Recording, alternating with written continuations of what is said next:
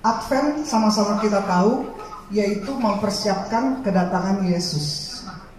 Dan secara surprise, ternyata Advent itu ada tiga.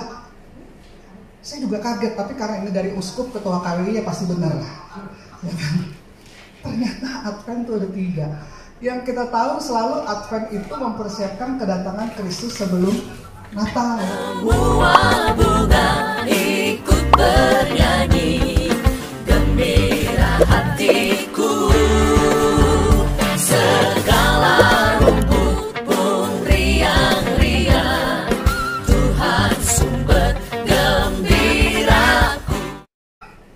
Tema kita keseluruhan empat minggu Advent kita bersama sejahtera.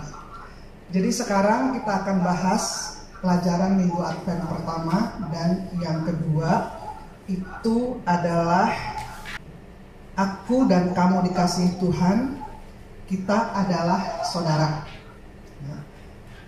Nah sebelumnya saya mau sampaikan di mana saya sangat diberkati oleh ketua KWI yang baru yaitu Monsinyur Anton Bunyamin dari Atenes Bunyamin dari Bandung. Beliau pas bawakan tema ini.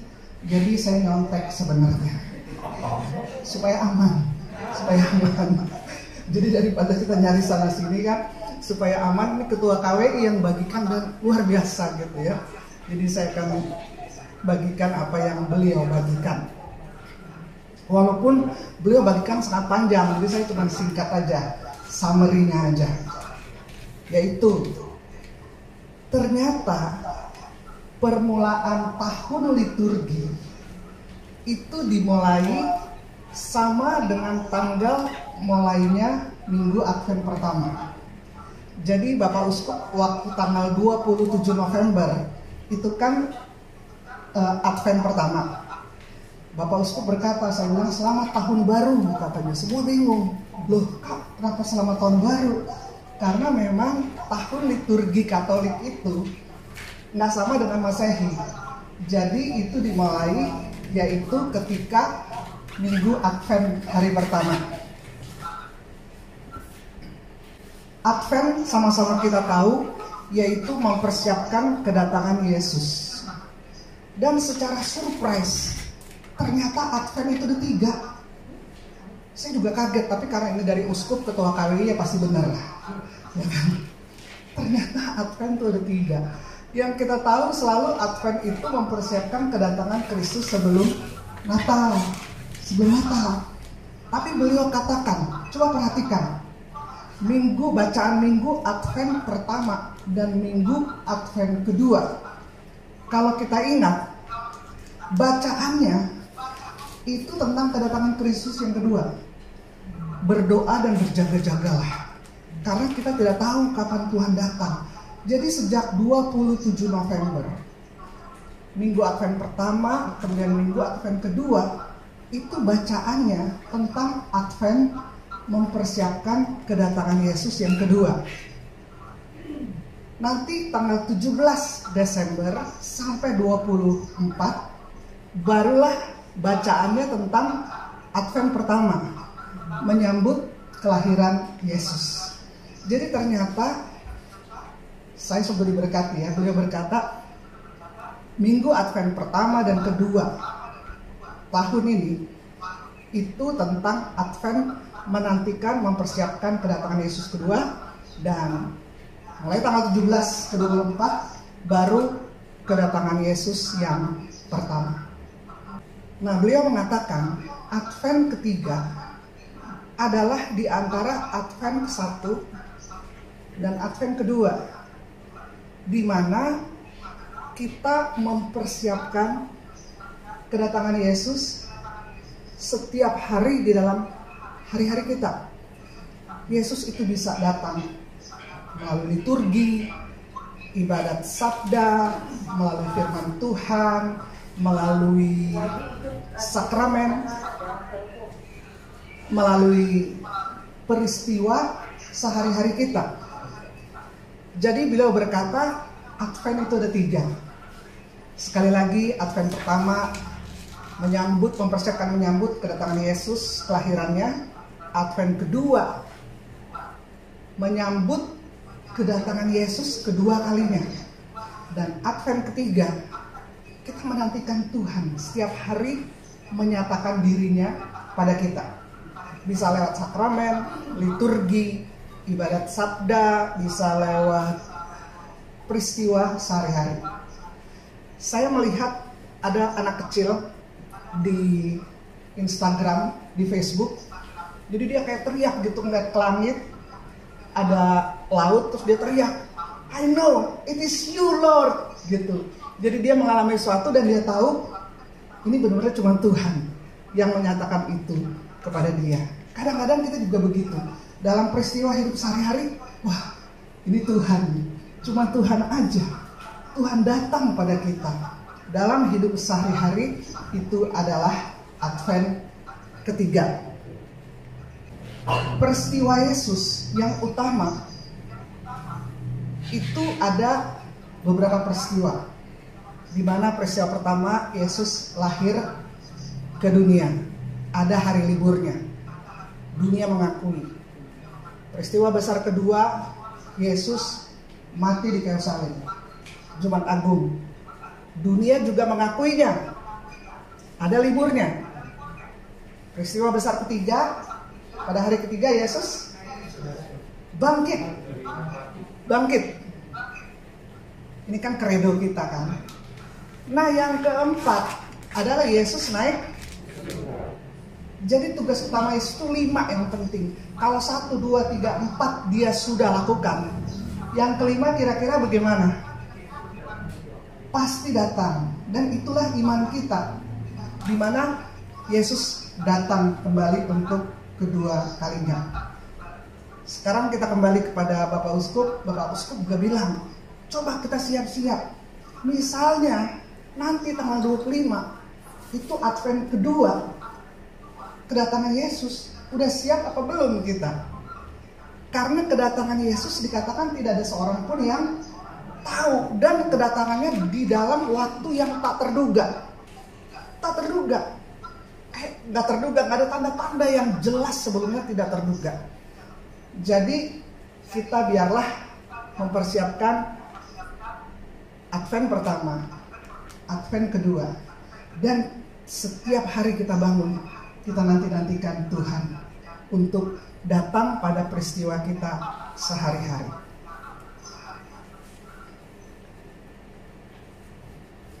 arti Advent ini Bapak Uskup juga bilang jadi saya aman nih. Ya beliau berkata ini dari bahasa Latin Adventus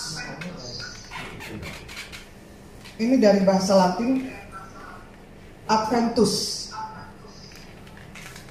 dan itu dari dua kata ad dan venire Ad artinya tour atau menuju tour. Ad. Jadi advent da dari dua kata ad dan venire. Venire benar Ibu Yayu luar biasa nih udah lulus sepsi ya. Artinya datang. Bahasa Perancis juga. Oh bahasa Perancis juga ya. Jadi ad itu tour atau menuju, venire adalah datang. Jadi datang menuju itu arti sebenarnya ya. Itu maksudnya apa? Jadi Advent itu kita menanti aktif. Menanti aktif untuk menyambut. Aktif menanti penuh perhatian untuk menyambut. Contoh sederhana aja. Ibu Yayu menanti kedatangan kita semua. Itu kan mesti aktif. Nggak bisa pasif. Pasti udah siapin menu biasanya kan. Udah siapkan bangku-bangku ini. Udah siapkan segala sesuatunya dan kalau bahasa tadi kan bahasa Latin kalau bahasa Yunani parusia nah parusia ini lebih diartikan waktu zaman abad ke-3 ke-4 itu kedatangan pejabat akhirnya dikatakan bahwa kedatangan Yesus Raja Damai. Yesus Raja Damai. Kalau pejabat mau datang, siap-siap nggak orang? Jadi Advent itu menanti dengan aktif, bukan menanti pasif, tapi menanti dengan aktif, bersiap-siap. Dan Advent juga mempersiapkan hati kita untuk menyadari dan mengalami betapa besar kasih Allah pada kita, pada dunia, sehingga mengutus putranya untuk menderita, menebus supaya kita selamat beroleh hidup. Bapak Uskup memberikan Yohanes 3 ayat 16. Ini minimal, minimal satu ayat ini kita harus hafal. Sebagai orang Kristen Katolik yang percaya kepada Yesus, minimal satu ayat ini kita harus hafal. Maka yang sudah hafal, ayo kita sebutkan bersama-sama. Karena begitu besar kasih Allah akan dunia ini, sehingga Ia telah mengaruniakan anak yang tunggal, supaya setiap orang yang percaya kepadanya tidak binasa, melainkan beroleh hidup yang kekal. Inilah yang dilambangkan dengan lingkaran Advent. Kita semua kan ada tahu ada lingkaran Advent ini. Lingkaran itu melambangkan tak terbatas. Dia nyambung. Makanya kayak cincin pernikahan gitu diharapkan kekal lah. Lingkaran ini melambangkan tak terbatas. Sama seperti kasih Allah tak terbatas pada setiap kita. Sedalam-dalamnya dosa kita, kasih Yesus lebih dalam lagi. Kasihnya tidak terbatas. Dia memberikan matahari dan hujan pada orang yang percaya, orang ateis, dan segala macam orang selalu tiap hari dapat matahari dan hujan juga. Kasih Allah tak terbatas. Nah ranting cemara yang hijau ini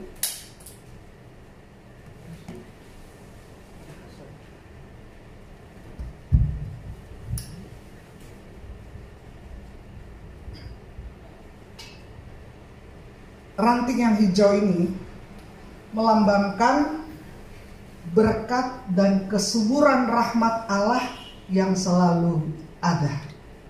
Selalu ada berkat. Dan dikatakan dalam kitab ratapan bahwa berkat Tuhan baru setiap pagi. Bahkan dalam doa Bapa kami, berilah kami rezeki pada hari ini. Selalu ada rahmat, ada rezeki yang baru setiap hari bagi kita dan keluarga. Berkat dan kesuburan rahmat Allah selalu ada. Dan suka ada ranting-ranting tajam, kata Bapak Uskup ya. Ada ranting-ranting tajam biasanya ini melambangkan mahkota duri Yesus. Karena kan di dalam cemara itu kan ada juga yang tajam-tajamnya. Ranting-ranting itu melambangkan Yesus pada nantinya akan memakai mahkota duri. Dan ada lilin. Katanya mode terakhir lilinnya ada lima, yaitu dua duluan dua warna ungu, kemudian satu pink, satu lagi ungu, di tengah-tengah putih. Tapi kan susah tuh dapat lilin ungu biasanya putih semua juga tidak apa-apa. Ya. Melambangkan apa?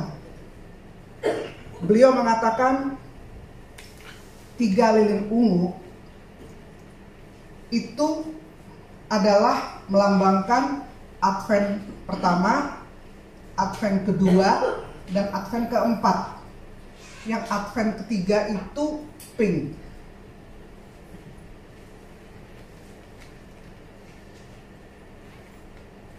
Jadi minggu pertama dan minggu kedua melambangkan Advent ke satu dan Advent kedua.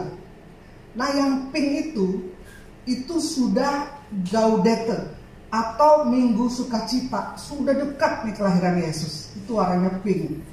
Dan yang ungu keempat juga melambangkan sukacita karena kelahiran Yesus sudah semakin dekat. Nah kalau yang putih apa? Beliau berkata, yang putih itu pas kelahiran Yesus. Jadi biasa pas kelahiran Yesus, lingkarannya sudah tidak ada, tinggal lilin putih melambangkan Yesus sudah lahir.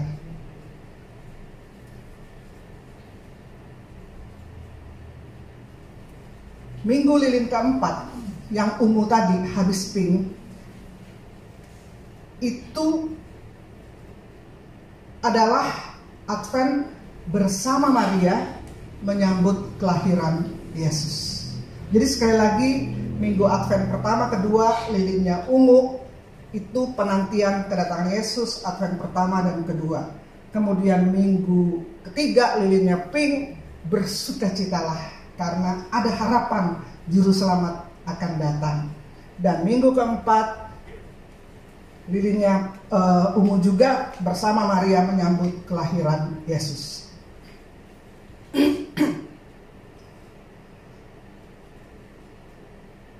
Kuskupan Agung Jakarta memberikan kepada kita Advent pertama adalah aku dan kamu dikasihi Tuhan.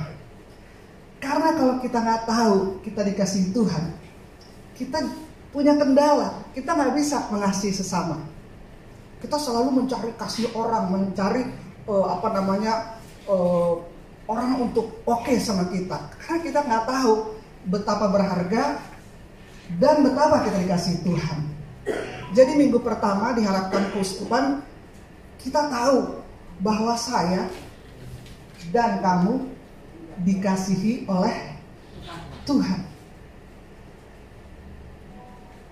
Kita lihat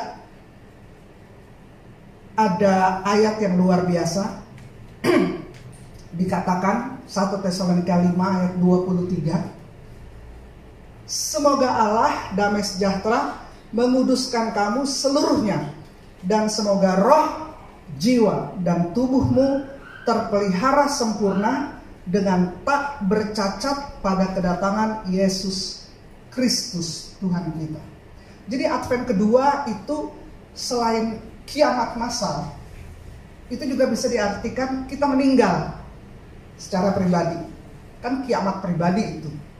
Nah, apakah roh, jiwa, dan tubuh kita terpelihara sempurna? Maka bagian kita untuk uh, persiapan kedatangan Tuhan dengan aktif seperti Ibu Yayu tadi ngepel-ngepel nggak, nyapu-nyapu nggak? Bukan saya, merentah. Iya perintah, katanya bukan bukan Bu Yayu perintah. Tapi pasti kan mesti beres-beres, mesti bersih-bersih, mesti bebenah.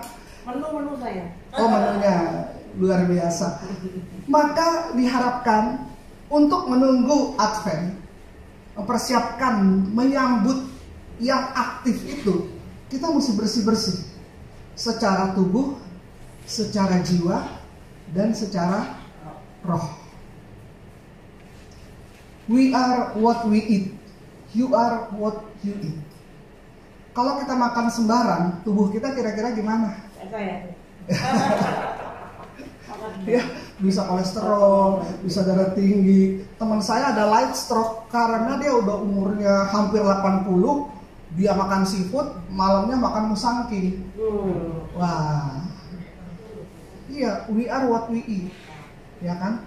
Maka kita juga mesti menjaga makanan kita kan supaya nggak kolesterol, nggak darah tinggi, gulanya nggak banyak gitu kan. Juga jiwa kita. Jiwa adalah pikiran, perasaan dan kehendak. Kita juga harus menjaga. Karena siapa yang bisa setir pikiran kita? Kita sendiri. kecuali kita sendiri. Ya, siapa yang mau pelihara tubuh jiwa roh kita? Apa kita suruh orang? Kan kita sendiri. Kita sendiri. Makanya saya juga bersyukur nih dulu diet susah banget ya. Aduh luar biasa nggak turun-turun. Saya dulu overweight 20 berapa kilo deh. Gitu kan. Tapi ternyata acara rohani itu salah satu bikin kita gemuk. Karena kalau habis pelayanan, kadang-kadang saya pelayanan itu ada pagi jam 10, jam 12 makan siang kan. Terus nanti jam 7 apa setengah 8 kelarnya kan setengah 10 langsung supper makanya Tuhan Yesus adalah supper karena banyak supper juga tapi karena dulu nggak naik mobil kali jadi badan sehat ya kalau kita kan makan setengah 10 malam jam 10 udah gitu kalau ditraktir di restoran suka ditaruh-taruh makanan. Kita nggak makan nggak enak. Ya akibatnya begitu deh. Maka puji Tuhan ada pandemi. Jadi kita kurang kurang saper jadi saya berusaha makan tuh jam 6 paling telat gitu.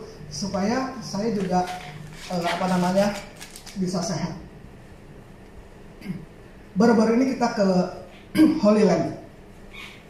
Kita ke Holy Land. Ada satu peserta. Dia dari Dayak. Dulunya termasuk panglima. Waktu perang suku antara Dayak dan Madura, itu Romonya gue dari sana. Romo bilang itu keadaannya dibunuh atau membunuh. Gak ada pilihan. Perang perang luar biasa tuh. Maka si bapak ini orang Dayak kan, dia dikumpulin langsung semua mesti pakai jimat supaya kebal. Jadi mereka dipotong di sini sedikit, ditaruh besi kuning. Itu jimat apa yang terjadi dengan bapak ini? Dia ikut kemarin nih ke Israel. Itu yang terjadi dia kan udah Katolik. Dia bilang saya itu malamnya saya mimpi saya udah terima Yesus, tapi kan karena semua pakai sekampung tuh pakai supaya kebal, jadi juga pakai. Dan dia bilang malamnya saya mimpi rumah saya, jendela saya semua miring aduh saya rasa salah. Jadi dia ikut kemarin, kan itu udah 20 tahun lebih perang suku itu kan. Jadi dia bapak ini tuh mukanya tuh kayak susah, nggak bisa senyum, beban berat, sakit, jalannya juga pelan-pelan, selalu ketinggalan di belakang. Istrinya datang sama saya, doakan, dia mau dilepaskan dari jimatnya. Itu tolong doakan. Dia tuh rasa bersalah. Karena rasa bersalah, karena kan eh, hukum pertama Tuhan adalah jangan menyembah berhala. Udah dia langgar gitu. Jadi dia rasa bersalah, apalagi kata istrinya, dulu dia garang banget. Jadi ada rasa salah. Nah, eh, saya pribadi kalau di Yerusalem, saya tuh rasa Advent ketiganya hadirat Tuhan kuat di mana? di ruang perjamuan terakhir, di situ juga ruang pencurahan Roh Kudus. Itu kan yang mantra mau masuk sana banyak. Jadi kita nggak bisa terangkan lama-lama. Biasa kita terangkan sedikit, langsung kita doa. Itu memang luar biasa. Saya selalu di sana mengalami Advent ketiganya tuh luar biasa banget. Ya. Macam-macam. Kayak kemarin, jadi cuman sedikit eh, saya terangkan kenapa Roh Kudus mesti datang. Langsung doa pertama saya bilang siapa yang mau pencurahan Roh Kudus. Gitu. Karena kan kita dibaptis dalam Bapa, Putra dan Roh Kudus. Sekarang eranya Roh Kudus. Waktu penciptaan itu era Bapa dalam sorga. Waktu manusia jatuh ke dalam dosa, dia kirim putranya. Itu era Yesus Kristus Tuhan. Sampai Yesus naik ke surga. Yesus kirim Roh Kudus. Nah, sejak itu sampai kedatangan Yesus kedua adalah era apa? Era Roh Kudus. Pokoknya singkatlah saya terangin. Jadi siapa yang mau terima Roh Kudus? Oh, terus ada Romo kan, Romo juga luar biasa dari Sintang. Dia doakan satu-satu. Tiba-tiba ada yang dari Papua, ibu-ibu. Wah, dia kayak melihat sinar di kepala kita semua. Mengalami Advent ketiga lah dia ya. Dia uh tempat teriak-teriak gitu. Terus saya pikir inilah kesempatan mendoakan kelepasan si bapak ini gitu ya. Saya bilang, e, bapak coba tolong duduk di sini. Kita semua akan mendoakan bapak. Mungkin itunya nggak keluar jimatnya, tapi minimal kuasanya dipatahkan dalam nama Yesus. Kuasa jimat itu. Dia duduk. Romo tumpangan tangan, kita semua tumpangin tangan gitu ya. Wah, gemetar gitu. Saya takut dia jatuh, dia mending duduk aja gitu. Oh, dia sebentar didoakan, udah selesai. Kan nggak boleh lama-lama. Kita keluar, eh nggak kebetulan pasti. Tiba-tiba ada iring-iringan. Oh apa? Orang-orang Israel tuh kayak nari-nari, pakai sangakala, pakai drum, pakai seruling, pakai apa?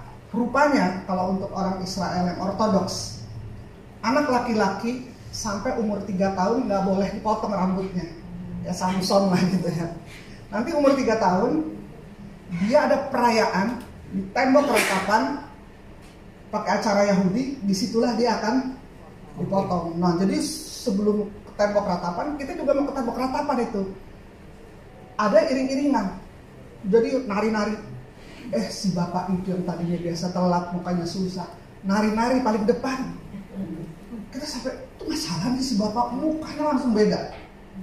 Karena memang dikatakan kalau orang yang berjumpa atau mengalami Yesus dia pasti berubah. Kalau nggak berubah diragukan sebenarnya. Karena 2 Korintus 5 ayat 17 jika kita berjumpa dengan Yesus kita adalah ciptaan baru yang lama sudah berlalu sesungguhnya yang baru sudah datang dia berubah, berubah. Akhirnya di bus kan kita tanya, kenapa pak? Mari-mari paling depan, cepet banget jalan yang biasa ketinggalan. Dia bilang itu tadi habis didoakan, kayak saya bangun dari tidur yang panjang. Saya dapat kekuatan baru katanya. Saya segar, dia bilang. Jadi dia waktu itu tidak menjaga eh, rohnya, jiwanya, dia menyembah berhala, sehingga tubuhnya sakit. Ketika dia beberes, makanya dia bilang, saya tuh mau kayak beberes gitu. Supaya kalau Tuhan panggil, saya udah siap. Kalau Advent kedua datang kepada dia pribadi atau kepada massal, dia sudah siap. Maka kita yang paling tahu di mana yang kita harus beres-beres tubuh, jiwa, dan roh kita. Dan terutama kita mesti punya waktu hening dengan Tuhan. Biarkan kita merasakan kasih Tuhan. Maka di Kuspan Bandung sekarang Uskup berkata, saya dengan kuria-kuria. Kita kan ada doa pagi, setelah doa pagi, kita itu mesti hening dengan uh, apa namanya hati kudus Yesus. Di depan hati kudus Yesus, kita mesti hening, kita mesti masuk ke dalam diri kita sendiri, mesti ngobrol dan mengevaluasi diri dengan Tuhan. Menimba kekuatan dari Tuhan. Karena kalau enggak melayani umat, itu kan ribuan umat. Makanya kalau pastor cuma dengan kekuatan sendiri, itu nggak kuat. Apalagi kalau uskup, kasihan kadang-kadang pastor ada sakit, ada yang bangga lagi pastor saya ketemu di Makassar. Saya udah 26 kali di operasi. Waduh saya bilang nggak, harus bangga lagi. Ya kan? Karena nggak kuat. Maka di dalam hidup yang banyak tantangan, banyak badai ini, kita harus menimba kekuatan dengan Tuhan. Kita mesti ada waktu pribadi bersama-sama dengan Tuhan. Supaya kita tahu bahwa Tuhan mengasihi kita. Dan Tuhan mengasihi sesama kita.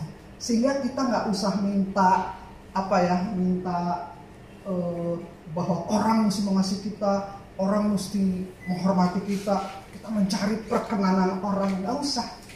Karena kita tahu aku dicintai Tuhan kejadianku dahsyat dan ajaib. Karena ada seorang pun mirip dengan kita di dunia ini. Ada karena kita adalah ciptaan Tuhan orang buatan Gucci, buatan Louis Vuitton, buatan Hermes itu bangga luar biasa. Kita nih buatan Tuhan. Jadi kalau kita nggak menghargai kita, kita nggak menghargai siapa? Pencipta kita. Kalau kita nggak menghargai sama kita, kita nggak menghargai siapa? Nggak menghargai pencipta kita. Maka izinkanlah beri waktu dalam doa pribadi, entah juga di depan hati kudus Yesus, izinkan Yesus mengasihi kita sehingga uh, hidup kita tuh nggak usah caper nggak usah narsis karena kita tahu betapa besar Yesus mencintai kita. Advent kedua dari Keuskupan Jakarta, kita adalah saudara. Kita adalah saudara. Nah ini saya cerita lagi kesaksian di eh, apa di Israel. Habis dari Israel kita masuk ke Mesir. Nah masuk ke Mesir ada beberapa orang udah sakit. Jadi ada beberapa orang yang tidak mau ikut cruise di Sungai Nil. Guide-nya udah bilang berkali-kali, yang nggak ikut cruise di Sungai Nil, kan itu makan malam. Kalian akan malam akan makan malam di restoran, ya. Kemudian kalian tunggu bus di bus supaya kita bisa pulang sama-sama. Itu empat lima kali udah diumumin. Tapi yang di bus yang sakit ini, mereka tuh nggak mau ke restoran. Hah? Nggak enak badan. Kita jadi ada satu asisten guide kasih box aja deh, beliin aja. Kita makan di box di di bis. Maka terjadilah miskomunikasi. Mereka bilang kenapa kita nggak diantar pulang? Kenapa kita mesti nunggu? Gitu.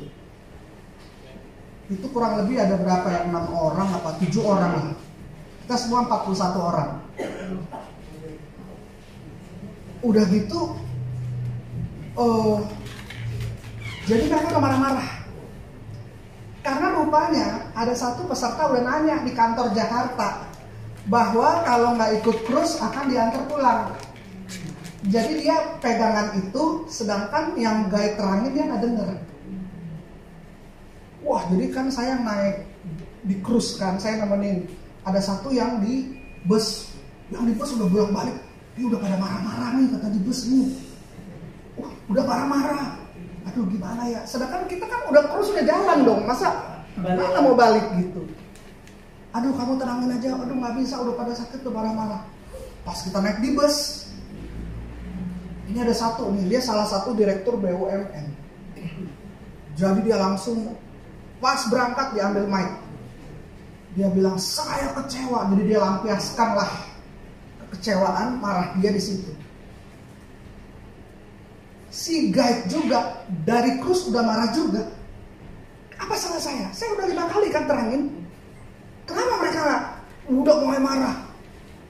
Jadi habis dia ngomong di bus, aduh saya lihat nih kalau guide yang ngomong berantem. Udah berantem.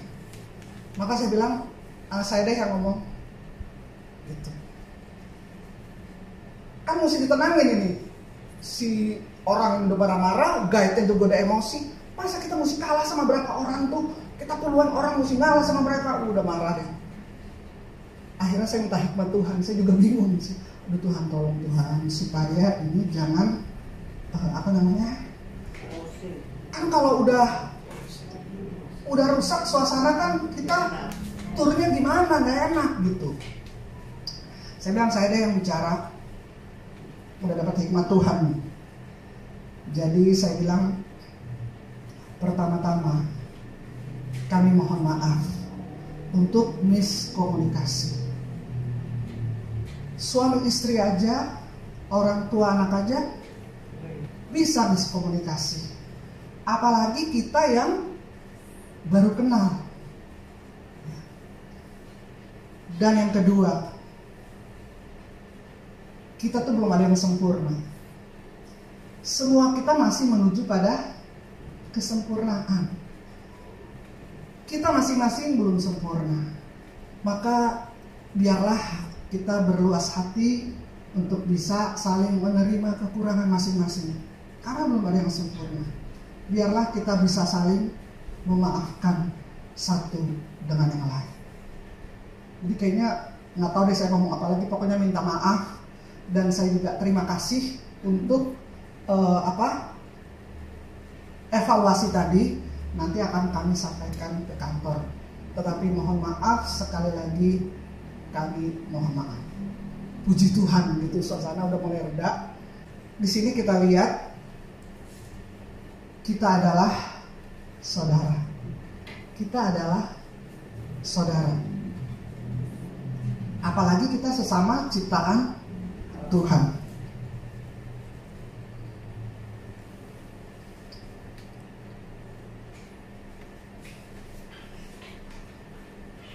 Kemarin saya lihat di YouTube ada anak-anak muslim kecil SD-SD itu di- dikasih duit 10 ribuan gitu dipegang gini terus mereka mesti jawab tentang nabi-nabi. Siapa nabi paling apa berhikmat? Oh nabi Sulaiman misalnya kan terus saya surprise. Dikatakan siapa nabi paling miskin? Hah? siapa? Nabi Isa. Kenapa bilang Nabi Isa? Ketua lingkungan ya emang luar biasa. Saya kaget saya nggak nyangka. Kalau Bu udah nyangka ya. Masa nabi paling miskin tuh Nabi Isa menurut mereka dikasih duit berarti bener. Menurut versinya dia cuman saya kaget aja gitu ya. Mungkin Nabi Isa kali nggak ada tempat untuk dana rumah kan tempat membaringkan kepala aja nggak ada. Kadang-kadang Hah? mereka keledai aja pinjam lahiran di kandang jadi paling miskin gitu. Maka saya surprise juga gitu kan. Dan kalau kita ingat-ingat itu si Lazarus yang miskin ada namanya. Orang kaya ada namanya nggak? Siapa nama orang kaya? Nggak ada. Ya. Dan apa kesalahan orang kaya? Yang bersama Lazarus. Apakah dia membunuh? Apakah dia berzina? Dia dia kesalahannya cuma satu yaitu tidak punya belas kasih. Pelit luar biasa sama si Lazarus yang tiap hari ada di pintunya depan pintunya. Nggak ada belas kasih nggak ada kemurahan hati. Pelit banget. Jadi hati-hati loh. Kalau kita lihat begini ngeri juga. Orang pelit bisa ada yang ketawa ya ya ini kan contohnya gitu. Dan kemarin teman saya yang saya bilang light stroke masuk rumah sakit karena seafood dan duren pada hari Kristus Raja tanggal berapa sih kemarin? Itu kan ada kan? Hari Kristus Raja ada teman mengajak Romo datang. Ini Romo dari Sumatera untuk misa di rumah sakit dengan berapa orang aja. Ya. dan Romo ini berkata dia baru ditugaskan di Jakarta. Dia berkata hari Kristus Raja kalau di Sumatera itu luar biasa. Hari istimewa pakai arak-arakan. Wah ibu ibu dari Sumatera langsung ngangguk-ngangguk. Luar biasa gitu manotor lah apalah pokoknya heboh kalau hari Kristus Raja. Selama 19 tahun saya jadi Romo baru satu kali ini saya misa Kristus Raja di rumah sakit. Katanya biasa meriah. Tetapi waktu saya persiapkan saya baru sadari inilah yang Yesus mau. Karena ketika penghakiman terakhir Yesus berkata ketika aku sakit engkau mengunjungi aku ketika aku lapar kau beri aku makan. Ketika aku haus kau beri aku minum. Ketika aku di penjara kau melawat aku. Ketika orang asing kau berikan aku tumpangan. Karena Yesus berkata apa yang engkau lakukan bagi yang paling hina ini engkau lakukan bagiku. Makanya dibilang nabi paling miskin itu Yesus. Dia yang kaya menjadi miskin supaya kita miskin bisa diperkaya oleh karena kemiskinannya